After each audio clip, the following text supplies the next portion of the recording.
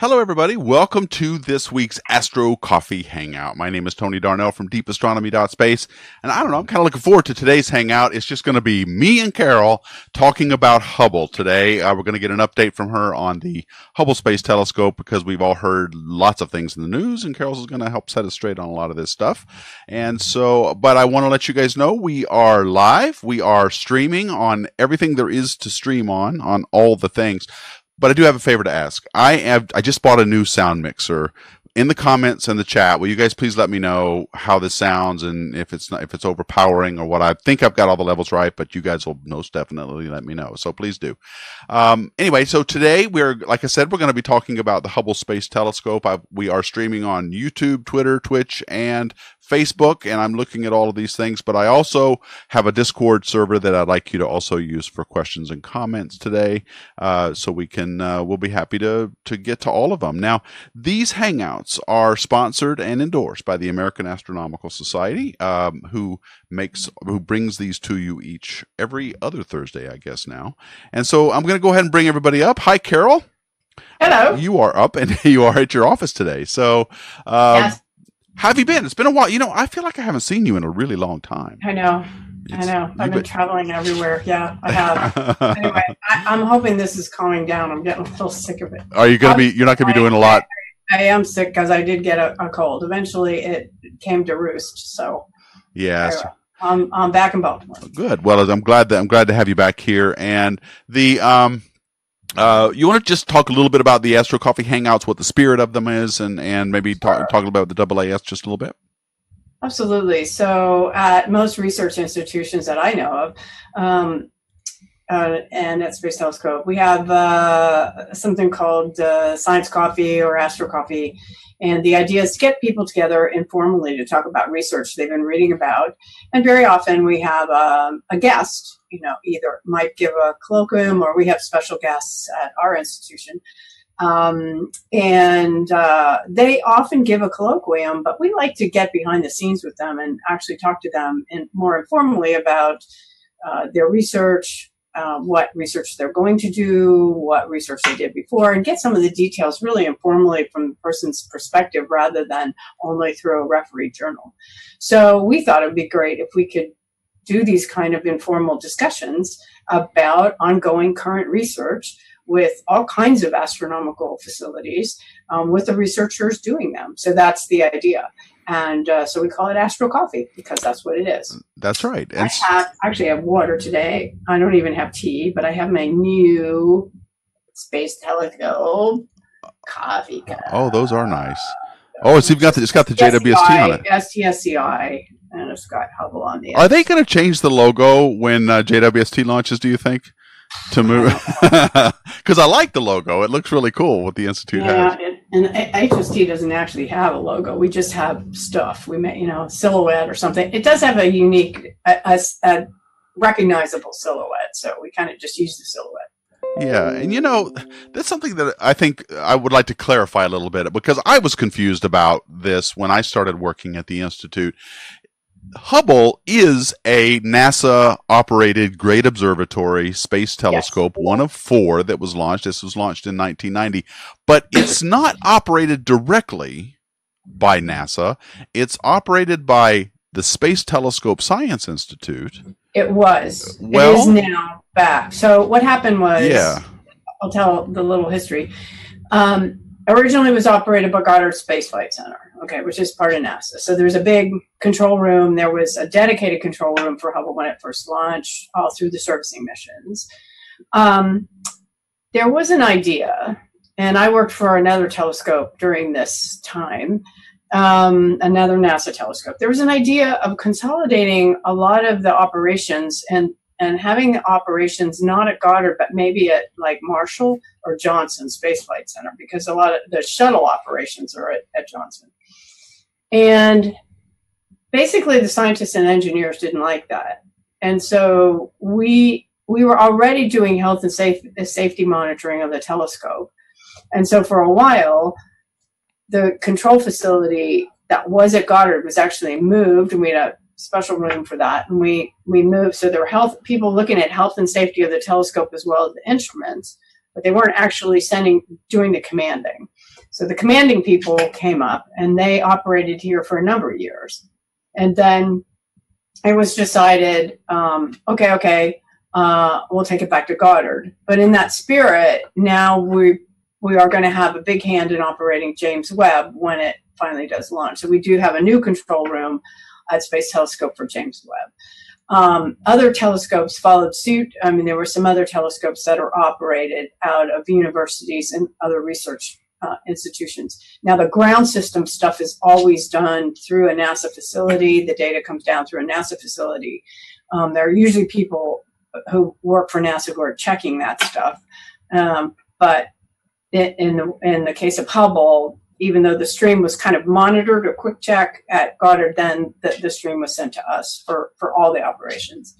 Um, it was also true that during servicing missions and any kind of an anomaly, uh, we always transferred control back to Goddard. That was even when even when the control room was in even when the control Baltimore. room was a space telescope. And okay. so if there was an anomaly, then there was a whole bunch of telecons, you know, face to face via video, and then a bunch of us went down there uh, and and they fired up the full control room and they did stuff there if there were real problems because then they had all the all the resources, all the engineers on site that could deal with any problem. And servicing mission because it's so tense, they always did from there but there was there was a period where the control operations, the actual Absolutely. pointing was done, yes. and that building you're in now. Yeah. And but well, it's I'm not in that building now, but well, oh, you're right. That's right. That's, that, that's it's under to another building. You're now yeah. up the hill. That's right. yes. yes. But yes. when you were in there, and when I was in there, then that was the building, the main building, and now, of course, as you point out, almost all of the fourth floor of that building is being allocated for the control room of the James Webb Space Telescope. So, yeah. but I guess what I'm trying to get at here is it's kind of weird. You've got NASA building and operating or building and launching the telescope and, and but then for they have a contractor which is STSCI uh, that is operating it kind of at least off and on but the operations and the science is driven at at the institute and the yeah. institute is a part of a bigger organization called AURA, which is yes. the uh, uh, what is it called? Association for Universities and Research of, in right. Astronomy, or something like that. And they operate observatories around the world, so it's all interconnected in kind of a strange way. Um, well, actually, when I was at Berkeley, I worked on the Extreme Ultraviolet Explorer, and we operated out of Berkeley. Imagine that. That was really a problem. I mean, NASA couldn't even conceive of that, but we operated EUVE out of NASA. We had an operations and in fact, I was deputy PI for a while. And so I was on the hook to answer questions if we had anomalies. So we ran that telescope um, on Shattuck Avenue in Berkeley, um, actually in a separate building from the university, but we were all university employees. We didn't have any NASA employees. So it's not that unprecedented. Um, as far as a great observatory, as part of Chandra was operated as well. So there are uh, astronomical telescopes that have been um, operated by outside. And also Landsat was often, some of those, those telescopes, Earth-looking telescopes were operated outside. So it's not completely unheard of. And a lot of the people who work at Goddard on NASA now are contractors. They're not, they're not civil servants. That's right. That's right. I, I wasn't when I worked at the institute. Yeah, I was I was an Aura employee. That's you right. You know, it's kind of a mishmash depending on on really what the need of the telescope is. Um, you know, in the case of Hubble, the servicing missions are pretty intense. Once the telescope is operating, I know. I wish I had been around during the. I, I joined uh, in 20, uh, 2012. When did I start the institute? Was it 20, 2010? I started in 2010, which of course was right a year after, after yeah. the last servicing mission yeah. in 2009. So I missed all that excitement. But I would love to have been around yeah, during one was, of those uh, during one of those periods. Okay, well, so as you know, uh, everyone out there, the Hubble Space Telescope launched in 2000 or in uh, 1990, and it's been we are working on our 28th year uh, in operations, and uh, April will be 29. And of course, it's lasted this long because of servicing missions, of which there have been five throughout the years. And the last one was 2009, as we just said. And when they went up there, they put up, they basically gave it a whole new setup. It's a completely yeah. new telescope after that servicing mission. And among the things that they did were replacing and updating the gyroscopes. And um, Yes. so, It was actually a very scary mission because they had a lot of stuff packed into a week. And they had to, we had to make decisions about exactly what was going to be done. And so you guessed it, the instruments were important, but they had to, they knew they had to worry about health and safety because if the telescope didn't work, didn't matter whether there was an instrument on it or not. So, but those guys, bunch of heroes in that servicing mission, they got everything done. They even had an extra day to take pictures. I know. so How they got it all done, I don't know. They were really very tired when they were done, but they they did it all. well, there was So, an yeah, on top of it all. I think they also made an IMAX during that servicing yeah, mission. exactly. Uh, and that Some movie was actually pretty cool. Videos that Mike Massimino managed to. Yeah, that's right. Oh, we should. You can Yeah. find those. Those are actually the gems. That's the behind. That'd be great. anyway, Well, the Hubble, uh, the Hubble was designed to be serviced by uh, the space uh, shuttle, which is no longer in operation. So now, that's it. I mean, what we have with Hubble, we have with Hubble, and can you? I guess I think I because we we're learning a lot about these gyroscopes. Can you explain to us a little bit about why they're so important, what they are, and why they're so important? right. So actually, uh, let's take a look at the at the pointing control system. Okay, I've got it it's up. a graphic, not a not an not an image. It's not a photograph. It's called Hubble Pointing Control System. Yep, I've got it up. Go ahead. And and so it has a, a graphic which shows uh, in the upper right. It shows the location of um, essentially three important aspects of the telescope, which have to do with pointing. One is the fi- fine guidance sensor, um, which is a sensor that finds uh, stellar objects and guides the telescope very finely, hence the name. Then there's the gyros, a- and then there's the reaction wheels. So reaction wheels um, are are the opposite of fine guidance sensors in some sense. They're real. They're they're more massive. They work on the idea of inertia. So the you spin them up and you spin them down. So there's no propulsion. It's just a, a, a torsion spin up, spin down, operating off of the solar panels, which fire up the batteries. So it gets the power. All the power is self-contained. It has nothing to do with propulsion or nuclear power. The reaction wheels spin up and spin down, and to the inertia, you can point with reaction wheels. Um, their react, and this setup is very similar to other telescopes, Kepler and other telescopes, Chandra, or whatever. Um, the gyros, uh, the way the gyros work is like similar to a bicycle wheel. If you spin, you spin something, you can turn it in certain directions, but not in others. And so typically the idea was to have three. So there are three, one along each of your axes. Uh, and that defines, so you can orient it so that um, you can you can combine the signal from three gyros to uh, tell you where you are in space. And so typically what we do with the pointing system is we we in it's pointing very finely tiny little tiny little corrections while it's observing and then we start to increase the rate of the gyros might use the reaction wheels to slew the telescope at a higher rate because if we use the lo- slow rate it take forever. So we slew from one spot to another and it's a whole art to schedule things so that you get the right target also that you minimize the amount of slewing done with the telescope because you don't want to let you don't want to spend all your time moving from one place to another. You want to move and get there and and then you settle down the fine guidance sensor captured and captures um, um, the field of view and then there you are. And then the the uh, so it's it you have to slew you have to get to the right place first of all and then you basically focus down to get exactly on the target that you need and you need very precise pointing for that.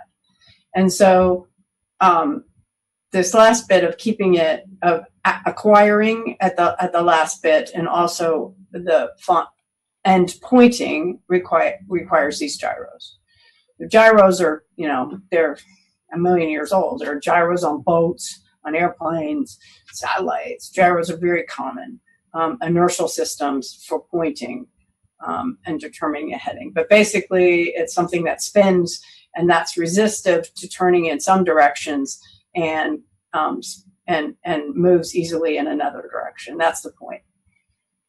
And That's a basic idea. So, so in the graphic, it shows you that the, the reaction wheels are kind of up uh, in the telescope assembly, and then closer to the back end is the the are the gyros and the fine guidance sensor, and then there's a graphic also that shows um, fine guidance sensor, and then what are called the star, star trackers, and the the star trackers are the things that actually lock onto a star in the field of view. Fine guidance sensor gets you guidance close, but the star tracker is the thing that holds it in place.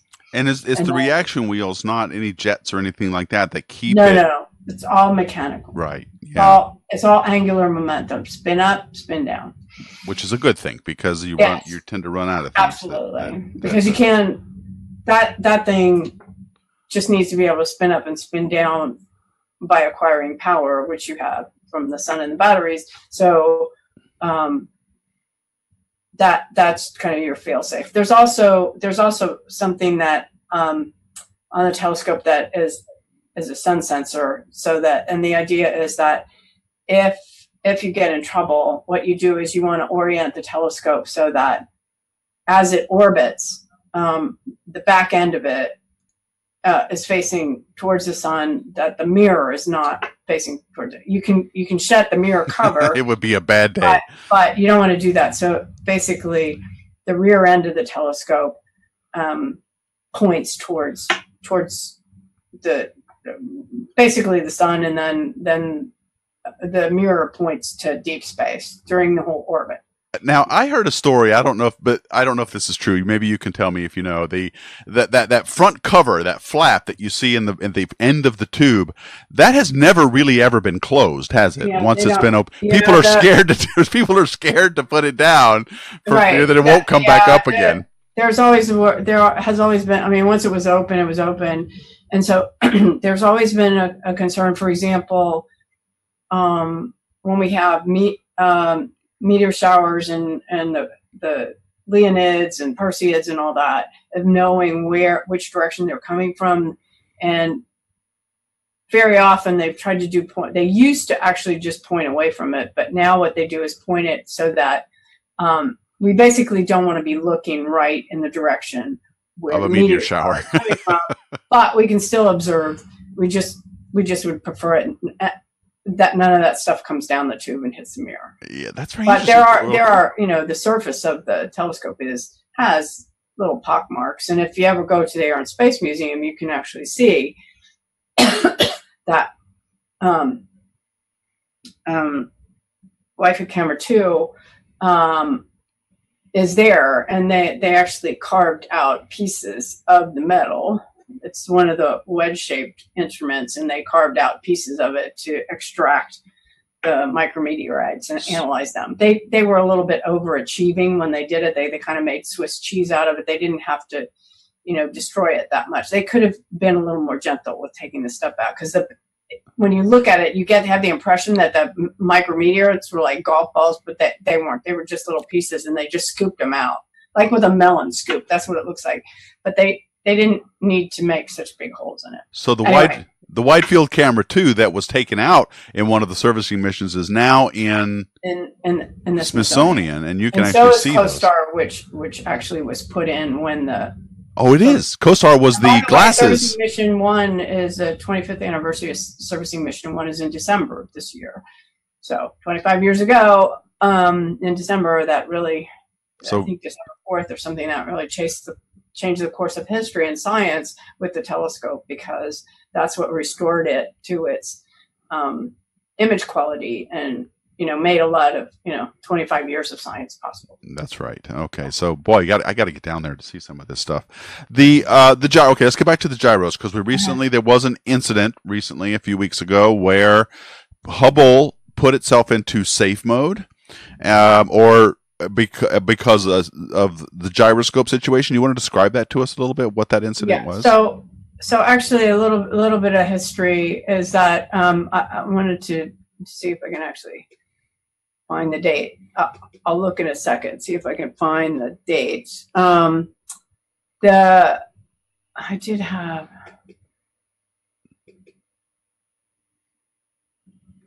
I had the exact dates, but anyway, um, gyros, various gyros were, re- replaced in various servicing missions.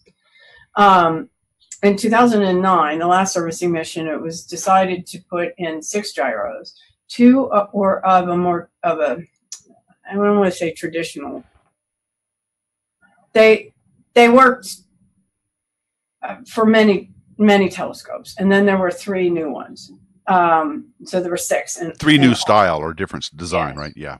And um, we can actually we can bring up how about that one picture which is set which is called HST gyro Okay, I've got it up. which is actually a picture of one Yeah, and unfortunately, guys, that's as big as I can make it. It's a small. yeah image, it's but- not it's not a high um, high resolution one um, so there were new gyros four were replaced in 1993 I did find the dates all six were replaced in 1999 and then in 2009 all six were replaced again.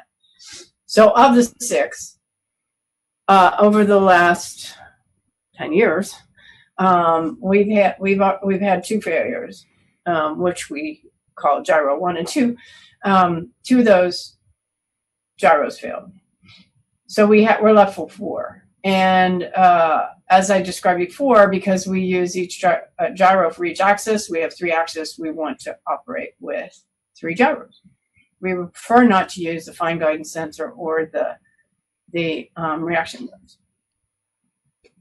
So, um, because it gives us the best pointing and the best stability and the best science comes out of it. Okay, I was So- about I was about to ask you to follow up on that. third gyro has been exhibiting unhappiness. I, I say it was exhibiting unhappiness. it was um, it was misbehaving for quite a while. I think it's about a year or more. And and the idea is, well, well, what do you do about that? Do you shut it off and just use the remaining three, or do you try to live with this annoyance and operate three gyros, knowing that you have still one in reserve. So the idea was to monitor it, and of course, there are several engineers that they spend all their time worrying about the gyro fail rate and plotting graphs and is it going to come soon and all that kind of stuff. So it's been jittering around, and we've been kind of living with it, and we have to make some compensation for it and the science pointing, but basically we've been surviving. And and then recently that one gave up. And they couldn't make it work again. So they said, okay, it finally gave up. We're we're done.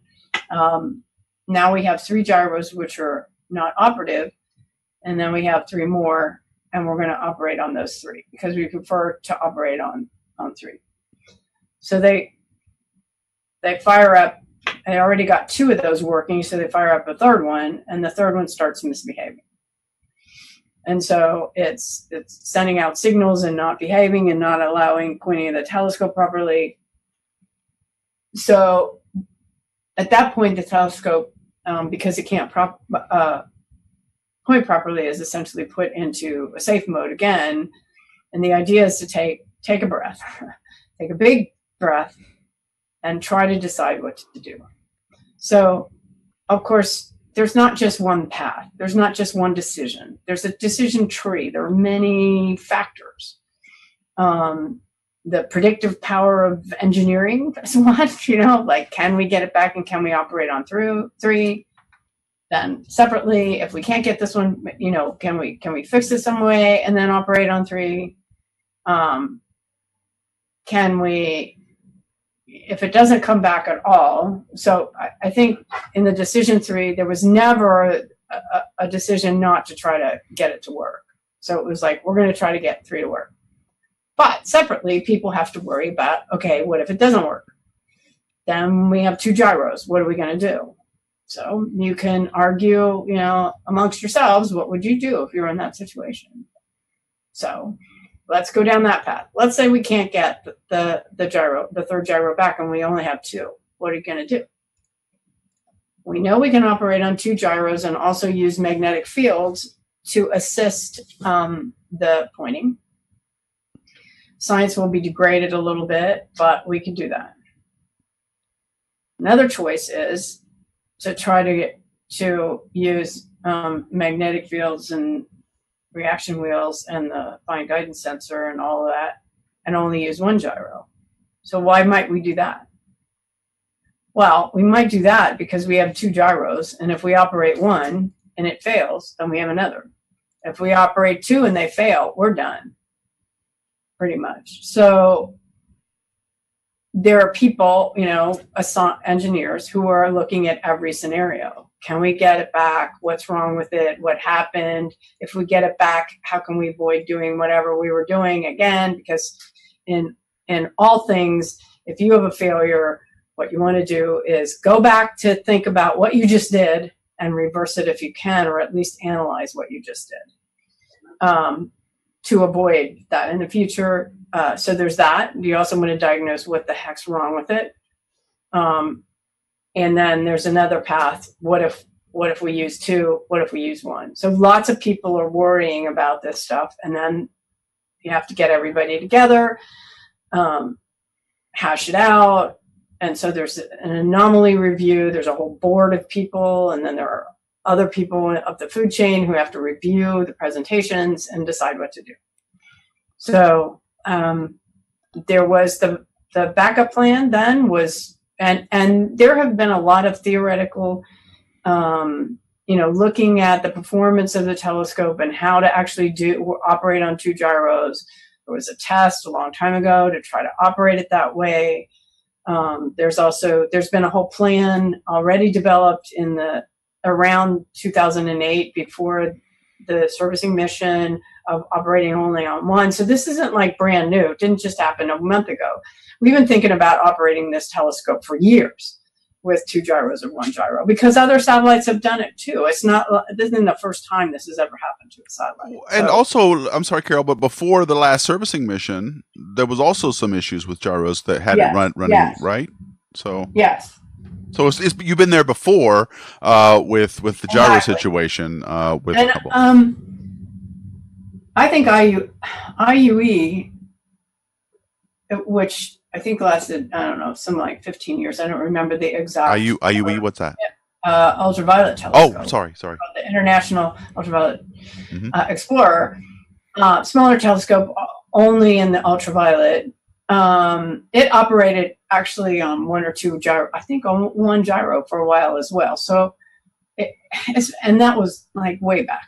So, um, you know, it, telescopes have operated in these modes before for substantial periods of time.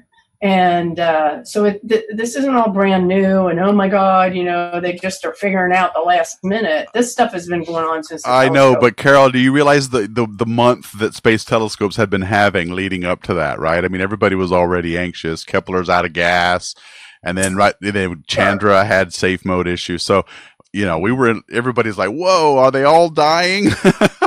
well, you know, you put them up there and don't replace them. Well, that's just it, isn't it? I mean, and yeah, and, and, another thing to all of these space telescopes credit, the great observatories and Kepler, um, these lasted way, way beyond. They lasted, uh, and and we've done hangouts on that. that that that these telescopes people are clever they will operate this this hardware as long as we can and we'll try to figure out ways to operate it in ways that we originally didn't envision so the studying um, operating Hubble in all these different modes has been going on for a long time. And if, if people are, I mean, it's pretty gritty stuff, but you can go online and Google it and say two gyro study. I mean, the engineers have written papers, put it out in the public, presented it at engineering meetings, had discussions. It's not like this is all behind closed doors. It's all completely open literature because, you know, we want the expertise of people in the field. And so, um, not every gyro expert works on Hubble. They work on lots of stuff. So you want to get that community together to to um, share expertise. And so these studies have been done for a long time, presentation after presentation after presentation over the years on how this would be done. And so when it actually is needed, then you you you've learned a lot, but then you have to move forward and find out what else uh, you've learned. So that the uh, the situation is now, and actually there was a uh, our project manager, the program manager, was interviewed by the Washington Post, but also misquoted by a number of media that he said we just turned the telescope off and then turned it on and everything's working. Well, rebooted it, huh? thing, thing, things were turned off and on that and no one master switch turning off and turning on has reset this. But a number of tests are being done. Um, they're checking out their theories on it, analyzing all the data, and uh, we know that progress is being made. And so, if they get the gyro to the state where they're kind of happy with it, and it, it, it sounds to me like you know might be close, um, then what you have to do is you can't just fire it up and start exercising it all over the place. You need to do some tests um, understand exactly how you created the problem, try to avoid doing that problem. Who knows? I mean, I'm sure the engineers want to repeat that thing over and over and over again. But, so, so the know, misbehaving. That, that, that, just because they want to study it. On the other hand, uh, scientists are like, don't monkey with the gyro. If you get it fixed, like get the telescope operating. So you know, it's there's all kinds of argument on all sides of this engineers want to understand the whole problem and the scientists want to get their science done and it's not clear that both both goals can be satisfied. it's tug of war, right? Yeah. So, so the misbehavior. I, mean, I, understand the the research aspect of it from an engineer's point of view, but, but I also think the telescope was not an engineering test model. It's an actual operating astronomical facility, and we ought to get it back. Well, there's also a time allocation problem. You, it's got yes. it's got work to so do, just, and it's yeah, been allocated. We just counterattack actually, and so the the the the recommendations of which is the best science um, are in and being pondered by um, the director and uh, the TAC. Uh, so that complicated things a little bit, but but and now we are stacking up science that hasn't been done. Okay. So right that, um, because of the delays. I, I, I mean, I I wouldn't. I would guess that. I would guess that what we want to do is try to do things that are sort of normal operations, not do anything exotic. You know, if if that third gyro that failed is um, is the one that that exhibited bad behavior is brought to heel, then operate three gyros, but do it in a sensible fashion. Don't don't try to do the most ambitious program you can think of. Just you know, let's resume normal operations, um, play it by the book, and uh, and move forward. So okay. we're all hopeful that that's the scenario that we're going to see in the next two weeks or so. Great. Okay. So but I know there are engineers who want to test it all over the place. Right. I mean, Hubble. always want to do that. So Hubble is one of the most oversubscribed pieces of instrumentation we've ever built. So, uh, yeah, this has an impact. And engineers, while they do want to get things right, there is an an abundance of caution can be a little bit too costly. It sounds like so. So the they're they they're as you said they're working on the the, the last gyro is still getting its uh, its work out. It's um, they're still getting a, a sense of how temperamental it, it is. Uh, and this will it is affecting the observing schedule of Hubble right now. Oh yeah, of course. Because every minute is scheduled, so we're we've been down for uh, several weeks. So um, the way the schedule is built is uh, again we we have the constraint of the science, like what needs to be done. Um, and all this is peer reviewed. So there's a huge peer review panel that looks at all the science. We're vastly oversubscribed, four to five, and and mo- almost all of those proposals are award winning. So you have a one in like four and a half chance of getting time on your proposal. Um, we also have programs that are continuing programs from before. So uh, we have these things called multi treasury programs, and those pro- proposals span several years because they're bigger programs. That the program isn't done in one year; it's done over many years um, to put all the data together. So there's those programs that are some of them are still sitting in the hopper. Some of the observations on those programs have already been done, but the rest of the observations have to be done in order to complete the set. And then there's there's always residual observations from the cycle before. Um, we're kind of at the end of a cycle now, and then pretty soon the time allocation that was just done, we're going to start up uh, those. So those all have to be interleaved. They were put in a really nice te- schedule, and then we've been down.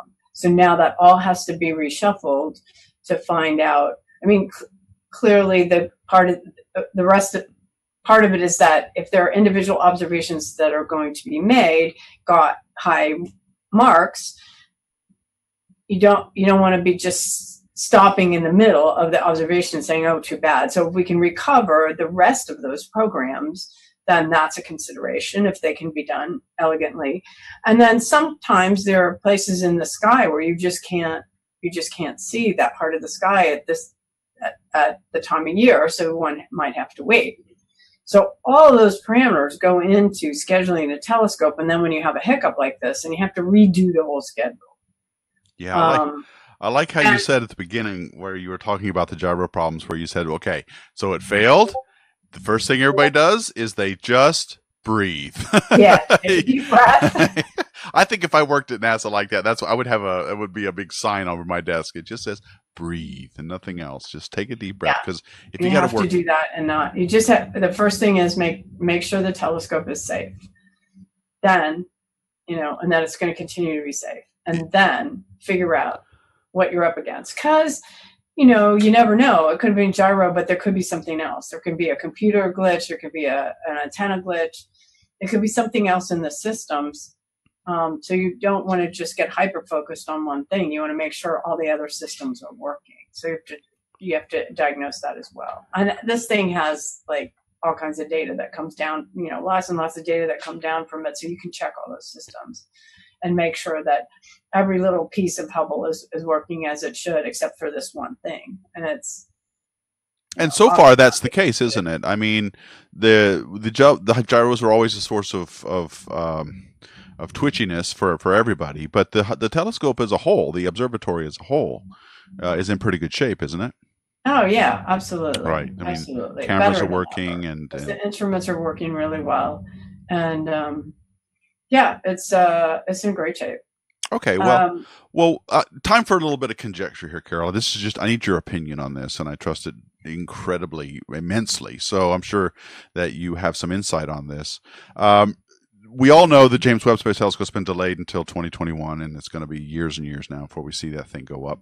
Uh, and at the time, there was some hope that the two telescopes could operate in conjunction with each other at the same, you know, be up there at the same time taking data. Do you still think that's possible, or are we pushing it now with Hubble? I think we're very hopeful that if we get this sort of gyro to behave for a while, I mean, they, people are engineers are going to be on these gyros like all the time. You know, they mm-hmm. monitor every single little glitch and every every single little signal, watching to see. There's no indication that I know of, but I don't. I'm not an operations scientist or engineer, so I don't know. But I haven't heard that there's anything particularly wrong with the other two. And and I, and I actually believe so.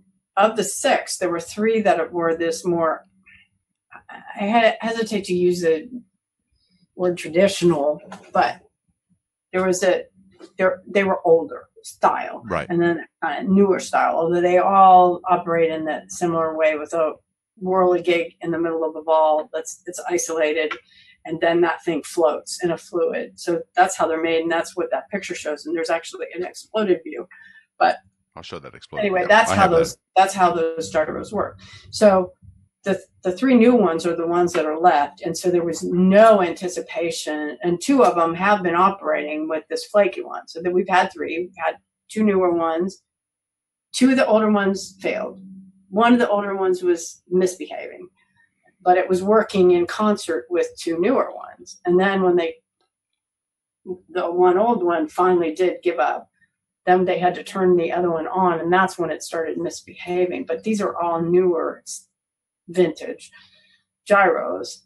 Um, and so there was no expectation that anything was going to go wrong with it. So I think they're just trying to figure out whether it was a circumstance or there's something actually wrong with it or w- what it is because it was sitting there and it hadn't been exercised yet. So maybe this is just a startup hiccup. I, I, I don't know. So I think two weeks ago things there were more was more nail chewing but the idea was we want to extend its life and we're looking to 2025 so we're not backing off on that mantra. That's great. 2025 okay. is our mantra and we're going for it. All and right. we'll operate the telescope. Now it may be that some of the instruments will fail um, but we believe we will have science instruments and a working telescope through 2025 and so there will be overlap. James Webb web will launch i don't know 2021 and then it'll take six months or so to do um, check out the whole system, and then eventually it'll start doing science. So I love it. I love it. There, there will be overlap. you heard it from Carol first, folks. That's Absolutely. great. All right. Well, let me we get to. Uh, let me get, let me get to a couple of questions. Uh, Uber CEO. Hey, it's like the rovers. People believe that those rovers were going to come back online after the, you know, the dust blew off of them, and guess what they did? I know they just kept going, and that's well, that's just it, right? So, I mean, NASA is got kind of a they got this Scotty syndrome going, right, from Star Trek, right, where he would always understate what something could do, but then he but he'd always come through. He, Scotty would always make it like work, you know, and and uh, it's the same with NASA. They say, you know what, we're, we're going to build this telescope. It might work for five years, folks. I don't know, maybe five years. I don't know. And then the next thing you know, twenty five years later, twenty eight years later, it's still up there working yeah. and doing things, and so. And there's no there's no degradation in the science. We we are um, well. If we anything, it's better than than launch day. Nine hundred refereed papers per year, which is the highest per year. Wow, I did not know that. Nine hundred refereed papers a year, which is the highest rate of any facility or any science ever that humankind has ever done. So, the currency of science. Good. Good. Well, that's yeah, that is that is a lot of that's a lot of that's a lot of good papers. Okay, so um, quick question from Uber COO: How mm-hmm. can magnetic fields stabilize Hubble? You said a while back that you can use magnetic fields to kind of, if you had to. Right. The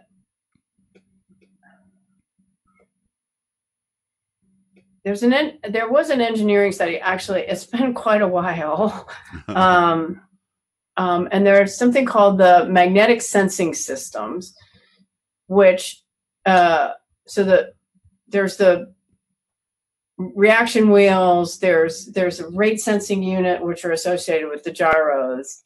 Um, there's then there's other devices which integrate the gyro output with the rest of it. And then there's there are these magnetic sensor systems. I have the rate sensor gyro. So I, I'm not exactly, exactly, exactly. I'm not an operations engineer, but my understanding is that it has something to do with the magnetic field of the instrument and the magnetic field of the earth and and being able to do a lot now that's that's not very um, refined, but you can. Um, and let's let's just remind everybody why determine what position you're in. Yes, and let's just remind everybody why this is needed. The Hubble Space Telescope has a very very small, teeny tiny field of view. Okay, the way it's always described to me is if you take a grain of sand and you hold it out at arm's length, that's how much sky it sees at any given time. So pointing has got to be done really well. Not only that, it also has to track and follow things as it's going around its orbit of the Earth. So that's why this is so important. Um, it's entirely possible, I suppose, that if Hubble was just left uh, with no control, you could still do some science with it. You're just going to get whatever Hubble happens to be looking at at any given moment. But uh, let's hope it doesn't get that that bad. Um, okay, so Andrew Planet with faulty gyros, possibly jeopardizing uh, missions like uh, uh, wait a second, with faulty gyros possibly jeopardizing other missions. In other cases, and Hubble being serviceable, could they be extracted to see what went wrong and aim and build future foolproof gyros? Okay, Andrew, let me just try and re- restate that to what I think you're saying. I think I know what you mean. Do you? Okay, go ahead. Answer that. go, Carol. and so, go. So what you're at, what you're asking is, can we go up there and get those gyros out and bring figure it out down? what- what's wrong? The, there are lots of these gyros around. These gyros have worked on ships, on aircraft. This is really very well known technology. So there's nothing mysterious about Hubble gyros that are any different than the ones that have been used on other satellites. And that's where it came from, the gyro system. So there's nothing stopping. I mean, th- these are improved um, gyro. uh, The thing, my understanding is that like laser gyros are not as accurate. They're good. That's what I was told, but I'm not a gyro engineer. But my understanding is that laser gyros, which work on ships, are not as accurate as these. Um, I mean, this thing spins 92,200 times a minute, and so it's a high rate, so it's it is very inertial.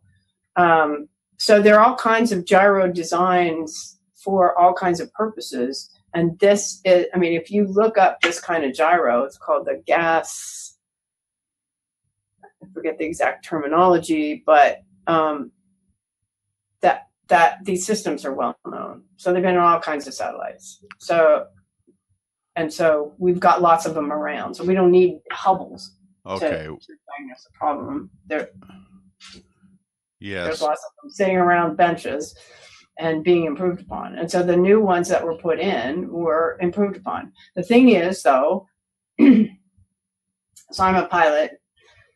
Let me tell you, just to get something in an aircraft takes years of pr- proof. So put it on a satellite takes decades for it to be space qualified. So you can think up a gyro tomorrow. It isn't going to be even on WFIRST in 2030. Maybe, maybe it will be.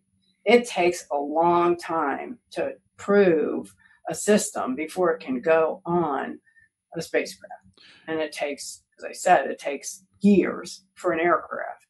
I imagine it takes years for a boat, although a boat it's not as critical. I mean, boat can float around for a while until you go there and replace the gyro, and you can carry lots of them. Spacecraft, you know, you have six, and they're the best engineered gyros you can put on there. So- Yeah, well, that yeah. So let me just read his follow-up uh, comment. He uh, he's saying, "Why build unreliable gyros? It's always the same story. Spend lots of money on good engineering to throw it away on gyros that just don't meet reliable standards, unlike the rest of the hardware."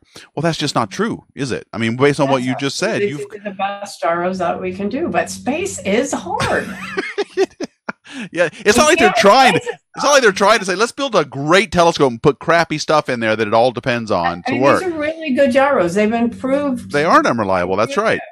uh, uh, time and time again. Remember, they were supposed to last, last 15 years. But they're like a They consumable. We They- just don't have a servicing mission. So Yeah, and the way I look they- at it is, it's like a cons- approximately every eight to 10 years. We just don't have a servicing mission. So these are the best they got. That's right. You go have a ship, they replace They wear all the time. They wear out. They just them all the time. We just don't have a servicing mission. yep. And so that to, to have them So- last that long, uh, at the precision that they're required to last, says a lot about how how reliable they actually are. Also, we have six. So Yeah. Yeah. So there's a lot of redundancy there. So I Well, I wouldn't I wouldn't be so have- hard on them, guys. I mean, that's pretty rough, Andrew. Yeah. I mean, I I, mean, think some some of these systems still have three, right? But yeah. They have three in the cabinet. Yep. Ours Um, have to be on board and and not taking up a lot of space and easily switchable and all that good stuff. So Mhm.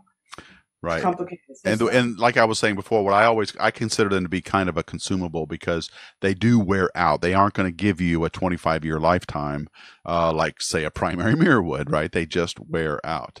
Uh, Contour Boss wants to know: Does the schedule depend on where Hubble is in relation to the Earth Sun orbit? Like when you allocate. Yes. Okay. you- yeah, I mean it orbits it orbits the Earth. Sometimes it's it's on the sunlit side of the Earth and we can't observe them. And then as it goes through the terminator, which is the day night terminator, you know, depending on the orbit, it'll go through that and and then it operates when it's on the dark side of the of the Earth. The main thing is that the telescope cannot point at the Earth because it's too bright. So it has to be oriented in such a way that it's not pointing directly at the Earth as it's orbiting. the other problem is that even if it's pointing away, there can be scattered light in the tube. So you have to wait until you get where it's really, really dark, just like going to the beach instead of looking at the sky from the middle of the city. You can't have a lot of scattered light. So we have to have the telescope in the darkest place. And that's when it's on the other side of the earth from the sun. So we have 40, uh, I think it's 40 or 50% efficiency, which is nearly half the time. When the telescope was first launched, they only could observe 30% of the time. So we've almost doubled that. So it's very efficient um, as far as its time usage, but you just can't operate the telescope when it's on the sunlit side of the Earth. And that's what James Webb is going way out, away from the moon and the Earth. And the only thing it has to worry about is not facing the sun. That's right.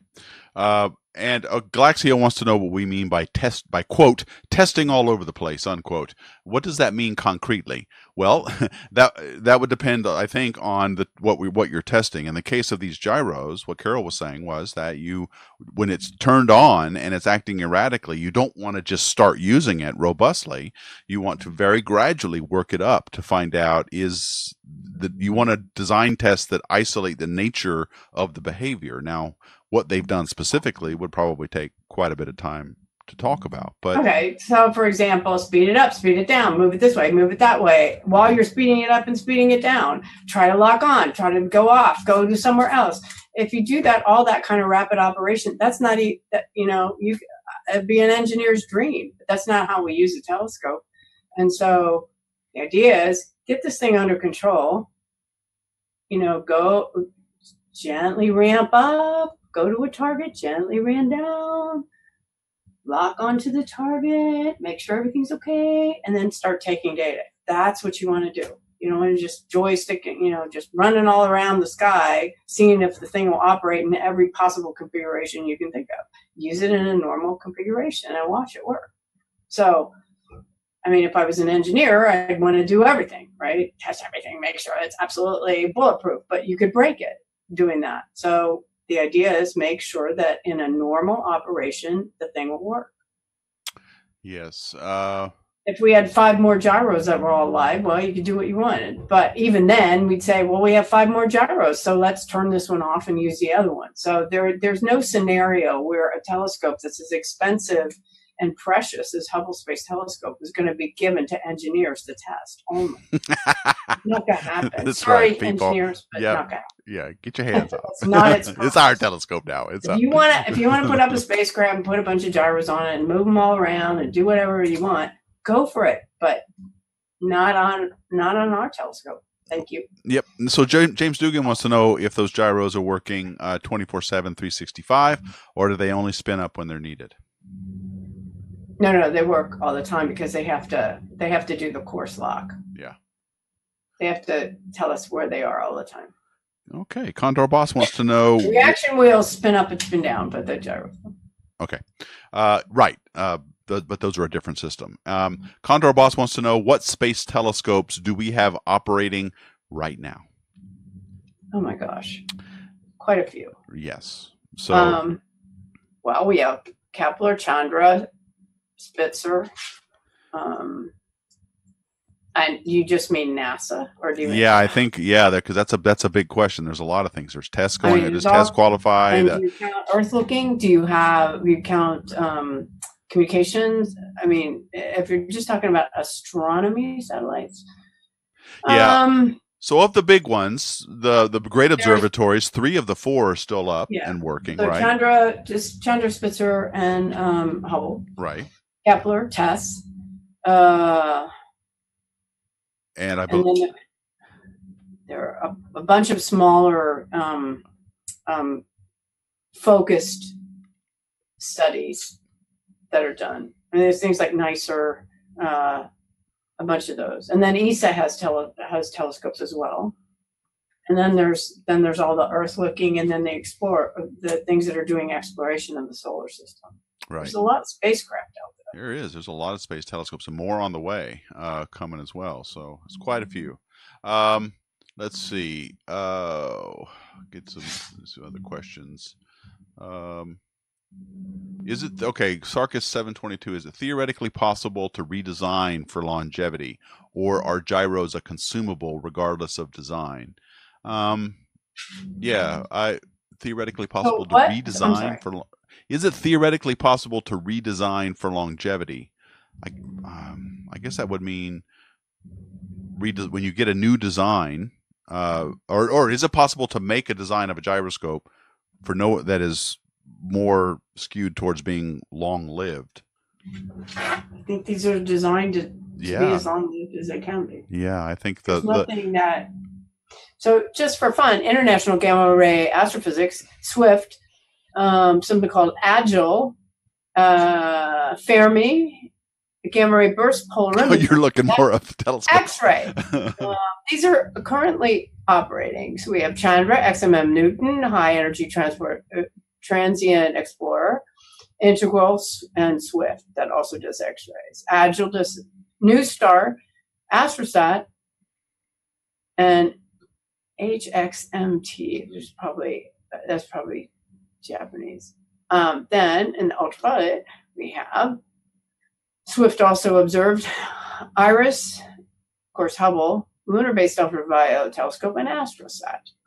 In the visible, we have Herschel, um, did have Herschel, Spitzer, and Hubble, and etc. Then there are microwave tel- uh, satellites, um, radio, particle detectors, gravitational wave detectors, and then a bunch in the hopper to be launched. So, lots. And we talk about those a lot on Space Fan News, folks. So just definitely keep uh, keep up Absolutely. with that. Lots So, of them. uh, Ryan Kornikoff or Korniloff, sorry. Um, as has there been any serious discussion about attempting to replace smaller critical components, such as these gyros, using SpaceX Dragon, for example? And I will tell you that I did a hangout with Harley uh, a couple of months ago on this effort of robotic. Look up the robotic spacecraft um, uh, hangout, where there are several companies out there now who are trying to make as their business model the launching of robotic spacecraft that are to go out and repair things that were not designed to be repaired by astronauts. Uh, there is a new genre of businesses being built for this in mind, and I'm sure they're going to use SpaceX rockets to get there. But I thought that was interesting because that means that if you launch a satellite, a communication space telescope, whatever it is, and it's degrading and it's going to eventually fail, it might make sense to repair it using robotic spacecraft instead of building an entirely new one. And there are businesses out there uh, that are looking into that. And of course, one of the big ones would be a big customer might be Hubble uh, if it does uh, when it does eventually fail. Go up and maybe uh, repair it. So, yeah, there are people, companies, not necessarily NASA, although NASA is involved in robotic uh, repair of spacecraft that were not designed to be that way. And that, I think, is a growth industry. And it makes a lot of sense, doesn't it? Well, it does, except that'll never happen with Hubble. First of all, there is a whole robotic lab run by Frank Cepollina, who's the master of robotics at NASA, and he's had a plan for 20 years to service Hubble again robotically. But NASA is not going to fund that. Um, and he knows exactly how to do it because he was involved in all the servicing missions. So because it's just not worth the money. Is that why. NASA won't do it, or what? Huh? They just won't. They don't see the, the value in it. NASA. Show me money. Yeah. What are you not going to do? It's like, oh yeah, NASA has money. What are you not going to do? We're not going to stop James Webb. hmm We would prefer not to stop WFIRST. The scientists actually don't want to stop WFIRST. We want to move ahead on W first. So what are you not going to fund? You're going to let Hubble die, and then James Webb and do WFIRST. Right. Yeah. First is going to say have a hundred times the field of view, and we'll see deeper than Hubble. So, you know, uh, amazing science is going to be done with uh, WFIRST.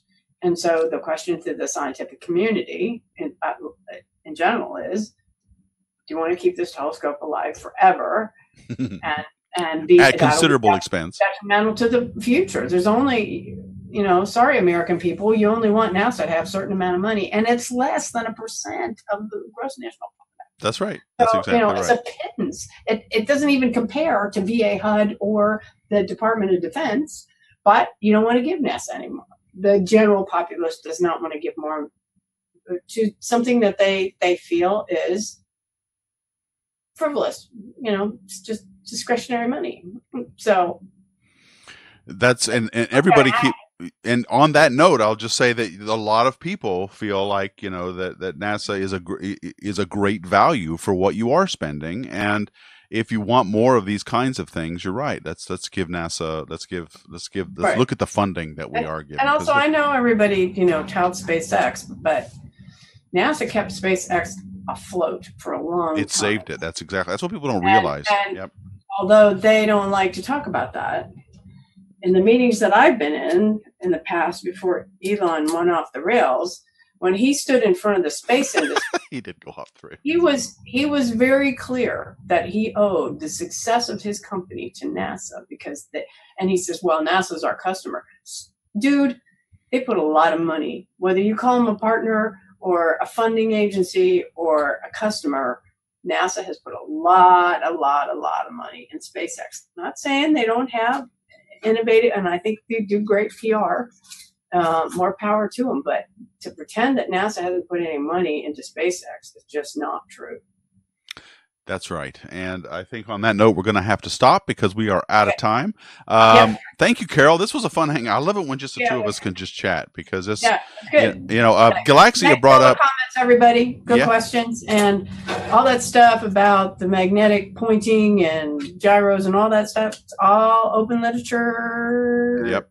On, on, in the Google world. That's right. So uh, we will be. This is the last hangout for October. I don't think we're coming back next week, right? Because this is one of those long months where we have like five weeks. So I don't think we've got a uh, an Astro Coffee next week. But we'll be back with no, future. That, it's Do the, we? It's first of November. Is next week the first of November?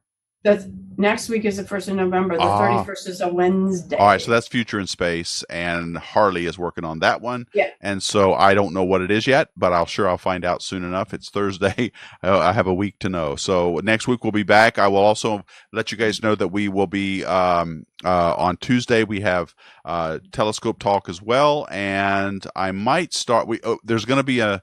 Uh, I have been posting the audio of these hangouts on the uh, Deep Astronomy podcast. So, and, and people are starting to listen to them. So please check it out on Deep Astronomy or uh, anchor.fm slash Deep Astronomy. It's also on Spotify and everything else. So, um, so please check these the audio versions of these out as well. Okay, well that is it for this time. I will see you guys next week, and uh, thank you all for watching. And as always, keep looking. Keep looking up. Thank you. Bye.